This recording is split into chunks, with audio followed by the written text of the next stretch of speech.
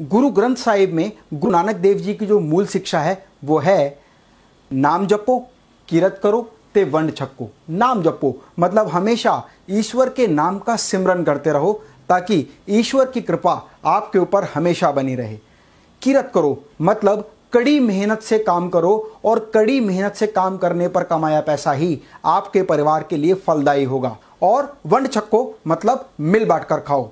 दोस्तों, सिख धर्म के लोग गुरु के दिए गए इन नियमों का तन मन धन से पालन करते हैं।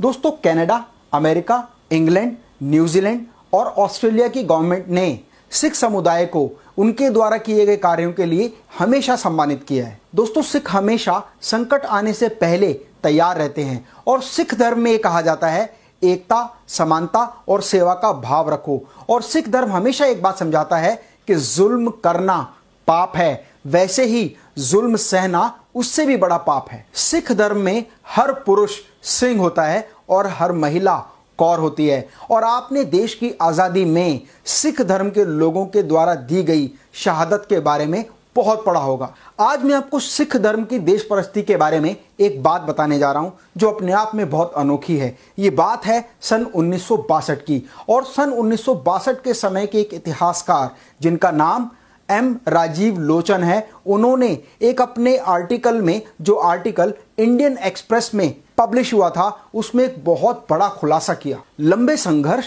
और बहुत सारी कुर्बानियों के बाद भारत देश आज़ाद हो गया था। और आज़ाद होने के बाद वो अपनी आर्थिक प्रगति की ओर बढ़ी रहा था कि उन्नीस सौ बासठ में चीन ने भारत पर हमला कर दिया। ऐसे नाजुक समय में देश की अर्थव्यवस्था को मज़बूत करने के लिए उस समय की सरकार ने एनडीएफ मतलब नेशनल डिफेंस फंड की स्थापना की और देशवासियों से एक अनुरोध किया कि आप दिल खोलकर नगद व सोना दान करें ताकि हम आर्थिक रूप में मज़बूत हों और देश को प्रगति की ओर ले जाएँ और चाइना से युद्ध में हमें सहायता मिले। देश पर आए संकट के इस नाजुक समय में प्रत्येक राज्य के देशवासी ने खुलकर नगद व सोने के रूप में भारत का सहयोग किया और उस समय सिख समुदाय और पंजाब के लोगों द्वारा दिए गए योगदान को देखकर पूरा भारत दंग रह गया। एनडीएफ, यानी नेशनल डिफेंस फंड के आंकड़ों के अनुसार 28 नवंबर उन्नीस सौ बासठ को पूरे भारतवर्ष से जो कलेक्शन आया,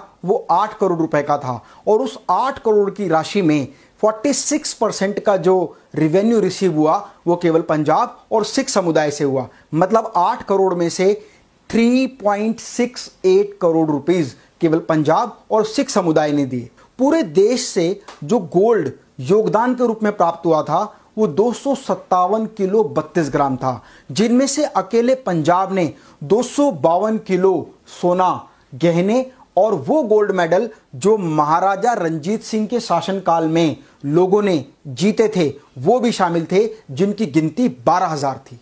इसके अलावा पंजाब के शिक्षा विभाग ने स्कूल और कॉलेज के विद्यार्थियों को, जिनमें दो लाख लड़कियाँ भी शामिल थीं फौज की ट्रेनिंग दी ताकि ज़रूरत पड़ने पर वो जंग के मैदान में जा सके और दुश्मनों को धूल चटा सके। इसे कहते हैं असली देश परस्ती। दोस्तों, आज हमारे देश में ही नहीं, पूरे विश्व में कोरोना महामारी का कहर है। लोग हर जगह मर रहे हैं। दवाइयाँ और ऑक्सीजन उपलब्ध नहीं हो पा रही है। शमशान घाट में भी लाशें अपने अंतिम संस्कार के लिए इंतज़ार कर रही हैं। और आज भी सिख समुदाय हर तरह से सेवा करने में तत्पर है। चाहे वो जरूरतमंदों को दवाइयाँ उपलब्ध कराने से लेकर हो, या ऑक्सीजन की सप्लाई हॉस्पिटल से लेकर मरीजों तक पहुँचाने से लेकर हो, मरीजों के परिजनों को सहायता करने से लेकर भोजन उपलब्ध कराने तक हो। सिख समुदाय हर तरह से तत्पर है और निडर होकर उनकी सेवा में सबसे आगे खड़ा है। इसीलिए कहते हैं, गुरु गोविंद सिंह जी के बंदे अपनी जान की परवाह किए बिना सदियों से मानवता की सेवा करते आए हैं, करते हैं और करते रहेंगे। गुरु नानक देव जी की मूल शिक्षा का अनुसरण सिख समुदाय का हर व्यक्ति कर रहा है। मेरा आप लोगों से रिक्वेस्ट है कि इस वीडियो को देश के हर नागरिक के साथ शेयर करें ताकि वो भी सिख समुदाय की तरह कंधे से कंधा मिलाकर हर समस्या में देश के साथ खड़ा हो और एक मानवता की सच्ची मिसाल दे। गुरु प्रसाद, जप, आद सच, जुगाद सच। है भी सच नानक हो से भी सच सोचे सोच न होवई जे सोची लखवार चुपै चुप न होवई जे लाए रहा अवतार पुखिया पुख न उतरी जे बन्ना पुरिया पार ਸਹਿ ਸਿਆਣਪਾ ਲਖ ਹੋਏ, ਤਾਂ ਇੱਕ ਨਾ ਚੱਲੇ ਨਾਲ। ਕਿਵ ਸਚਿਆਰਾ ਹੋਈਏ ਕਿਵ ਕੂੜੇ ਟੁੱਟੇ ਪਾਲ। ਹੁਕਮ ਰਜਾਈ ਚੱਲਣਾ, ਨਾਨਕ ਲਿਖਿਆ